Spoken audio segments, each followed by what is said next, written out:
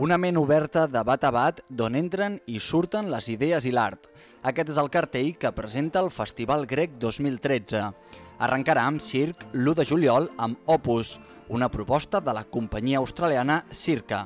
Un dia abans, Barcelona viurà la festa d'obertura gratuïta i per a tots els públics, amb actuacions dels Catarres i l'Axambusto.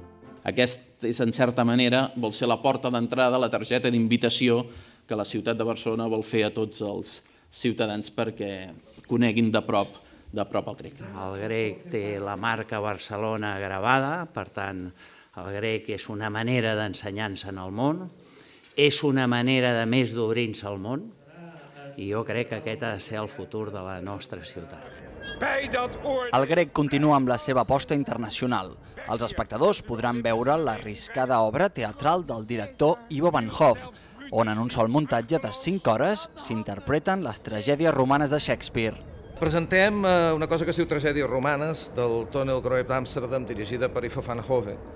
Segurament és un dels més grans espectacles que es puguin veure al món actualment sobre Shakespeare. Són tres tragèdies romanes de Shakespeare representades en la no menys gran quantitat de minuts, que són 370 i escaig.